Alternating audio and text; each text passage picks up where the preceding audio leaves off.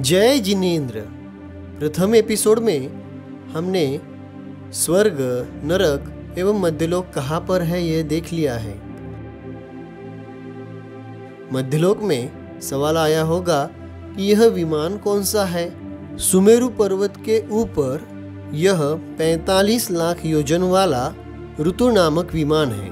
इस संबंध में आपको विस्तृत जानकारी तीसरे एपिसोड में देखने को मिलेगी।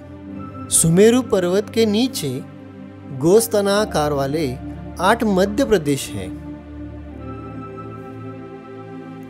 जो वीडियो में दिखाए जा रहे हैं, वे ऊपर चार और नीचे चार। इस तरह आठ सेंटर हुए हैं। ये जो चित्र में आठ मध्य प्रदेश दिखाए गए हैं, यही आठ प्रदेश सुमेरु के सेंटर है। लोकाकाश के भी यही आठ प्रदेश सेंटर है। और संपूर्ण आकाश द्रव्य के भी यही आठ प्रदेश सेंटर है, क्योंकि आकाश द्रव्य के सेंटर में लोकाकाश है और लोकाकाश के सेंटर में सुमेरु है। तो सुमेरु के जो आठ प्रदेश है, वही लोकाकाश के भी और वही आकाश द्रव्य के सेंटर आठ मध्य प्रदेश है। इन आठ प्रदेशों का क्या लाभ होगा? तो लोकाकाश की चारों दिशाओं का जो व्यवहार है, वह इन्हीं आठ प्रदेशों द्वारा किया जाता है। दूसरी बात है, जब हम पंच परावर्तन का कथन कर रहे हैं, तब क्षेत्र परिवर्तन आता है। तो क्षेत्र परिवर्तन में प्रारंभ करते हुए यही आठ प्रदेश लिए जाते हैं। और तीसरी बात, जब केवली भगवान केवली समुद्घात करते हैं, तब लोक पूर्ण समुद्घात के वक्त यही आठ प्रदेशों को मध्य किया जाता है। इस संबंध में आपको ज़्यादा जानकारी आगम ग्रंथों में मिल जाएगी। इस तरह हमने सुमेरु के आठ मध्य प्रदेश देखे। अब सवाल आता है, मध्य, यानी सेंटर तो एक होता है तो सेंटर फिर आठ कैसे हो गए? सेंटर हमेशा आपको एक कहना चाहिए, आठ कैसे सेंटर हो सकते हैं? तो उसके लिए हम आगे की चर्चा देखते हैं। पहले हम ये समझते हैं, प्रदेश किसे कहते हैं। इसकी चर्चा हमने पिछले बार ली है, फिर भी बता देते हैं। क्षेत्र का जो लास्ट पार्ट है, उसे प्रदेश कहते हैं। तो इसलिए, उस प्रदेश का फिर आधा प्रदेश कभी नहीं होगा। तो सेंटर निकालते हुए कहा कि कभी भी प्रदेशों का सेंटर आधा प्रदेश नहीं होगा ने हाफ़ प्रदेश नहीं दिखाया जाएगा।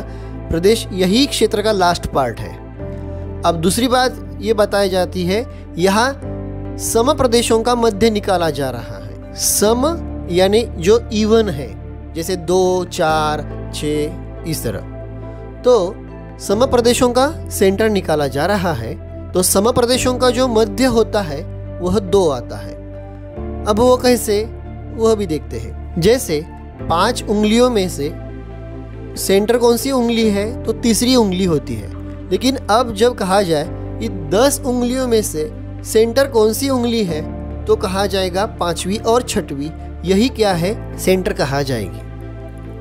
और प्रदेशों का मध्य एक आएगा, लेकिन सम प्रदेशों का मध्य दो आएगा। अब आगे, समपृष्ठ भाग पर दोनों ओर से सम प्रदेश होने के कारण मध्य चार प्रदेशों का हुआ। तो यहाँ पे चित्र में दिखाया गया है, लंबाई जो है, वो सम प्रदेश की है तो वहाँ दो सेंटर हो गए। और जो चौड़ाई है, वो सम प्रदेश की है तो वहाँ दो सेंटर हो गए। लंबाई के दो प्रदेश और चौड़ाई के दो प्रदेश। इस तरह क्या हो गया? मध्य प्रदेश क्या हो गए? चार के हो गए। अब यदि घन होगा, यानी क्यूब होगा तो उसके कितने प्रदेश होंगे? आठ प्रदेश होंगे। यानी ऊपर चार और नीचे चार। इस तरह आठ प्रदेश होंगे। जो लोक है, वह घन स्वरूप है, अथवा जो सुमेरु है, वह भी घन स्वरूप है। अतः उसके आठ मध्य प्रदेश हो गए। अब कुछ लोगों को यह भी सवाल आ सकता है कि यह जो लोकाकाश दिखाया गया है, वह अनेक कलर का क्यों दिखाया गया है? तो उसमें तनुवाद वलय जो है, वह अनेक कलर का है। इसीलिए लोकाकाश बाहर से अनेक कलर का दिखाने की कोशिश की गई है। कुछ लोगों के यह भी सवाल थे। वात वलयों की मोटाई लोकाकाश के अधोभाग में, दोनों पार्श्व भागों में, नीचे से एक राजू ऊंचाई पर्यंत। एवं आठों पृथ्वियों के नीचे तीनों वात वलय बीस बीस हज़ार योजन मोटे हैं। इसका सामान्य मतलब यही है कि बीस बीस हज़ार के जो वात वलय है तो वो कहाँ पे है, यह बताया, नीचे से एक राजू ऊंचाई तक सभी जगह से क्या है, बीस बीस हज़ार के वात वलय है, यानी साठ हज़ार हो गए। और दूसरी बात है, पृथ्वी के नीचे जो तीन कलर दिखाए गए हैं, वह भी क्या है, बीस बीस हज़ार के वात वलय दिखाए गए हैं। यदि आपको इन वीडियो संबंधी कोई और क्वेश्चन हो तो कमेंट बॉक्स में हमें ज़रूर पूछ सकते हैं।